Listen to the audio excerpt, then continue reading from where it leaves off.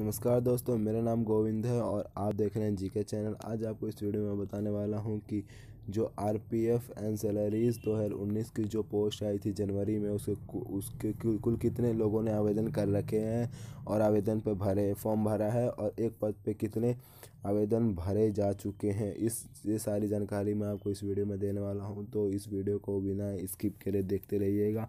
इसकी सारी जानकारी मैं आपको इस वीडियो में देने वाला हूँ।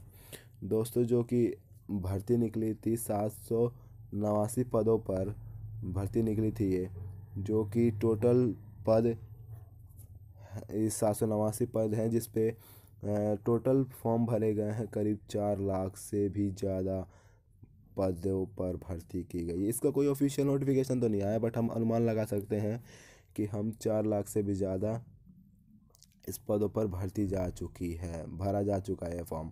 और एक पद की बात करें एक पद पर पद पर करीब, एक पद पर करीब 500 पोस्ट जा सकती है। और ये गई भी है दोस्तों। एक पद पर करीब 500 पोस्ट जा 500 पोस्ट पर भर्ती जा चुकी है। तो क्योंकि ये इसलिए हुआ है क्योंकि ये जो फॉर्म आया था वो ओनली दसवीं पास पर था, दसवीं पास के पदों पर था। इसीलिए इसीलिए भर्ती इतनी ज़्यादा लोगों ने भरी है और इसकी एलिजिबिलिटी भी बहुत कम थी। दसवीं पास और बस trade test C B T ये तो आसान से सब था इसीलिए लोगों ने इस पर ज़्यादा से ज़्यादा फॉर्म अप्लाई किया है।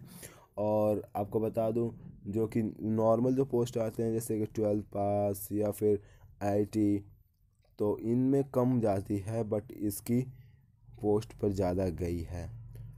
तो और आपको इस कट ऑफ़ के बारे में बता दूँ तो जनरल ओबीसी जनरल का कट ऑफ़ जाएगा हमारा करीब में पैंतालीस नंबर चाहिए उसे पास होने के लिए सीबीटी के बाद विदाउट ट्रेड टेस्ट सीबीटी में तो सीबीटी की बात करें, चलिए पहले सीबीटी की बात करते हैं।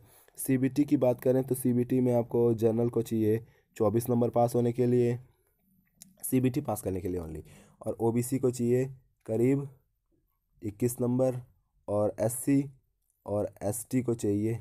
बस अठारह नंबर, अठारह अठारह नंबर, जो कि हमारे साठ नंबर साठ नंबर से, जो कि साठ मार्क्स में से आपको ऑप्टेन करना पड़ेगा, जो को साठ नंबर से आपको अंक प्राप्त करने होंगे, जो मैंने बताया, चौबीस, इक्कीस और अट्ठारह नंबर, ये आपको प्राप्त करने होंगे साठ में से, साठ में से ही।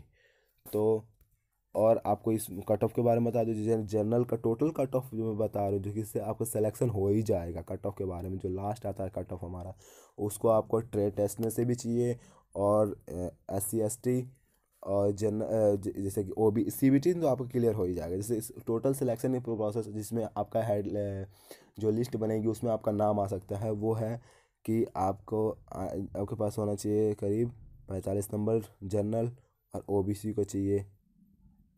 ओबीसी को चाहिए आपको एक चालीस नंबर और एससी और एसटी को चाहिए तीस से पैंतीस नंबर।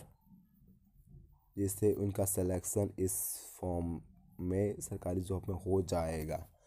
तो आपको वीडियो कैसे लगे दोस्तों? इसको लाइक करें कमेंट करें और दोस्तों में ज़्यादा ज़्यादा शेयर करें जिससे कि हमारे चैनल पे और सारे सब्सक्राइबर आ सकें और जय हिंद। अभी तक के लिए दोस्तों जय हिंद।